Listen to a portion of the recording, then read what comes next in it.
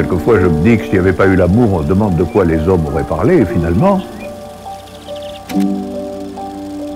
Euh, l'amour, c'est une des expériences subjectives les plus fortes qui existent. Ça, tout le monde le reconnaît depuis toujours. Il faut s'intéresser à tout ce qui apparaît comme les grandes passions de l'humanité. Alors quand j'insiste sur le hasard, parce que j'insiste sur le fait que l'amour comme création, comme invention, il est profondément lié à une rencontre qui est une rencontre hasardeuse, voilà. Et c'est précisément parce qu'il y a cet élément de hasard que euh, l'amour peut avoir une dimension créatrice véritablement intéressante et universelle.